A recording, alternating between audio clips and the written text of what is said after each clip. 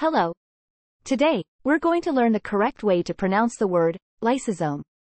Listen carefully. Lysosome. Once again. Lysosome. And for the final time. Lysosome. That's all for today. We would really appreciate if you could like and subscribe. It will help our channel grow. Enjoy your day.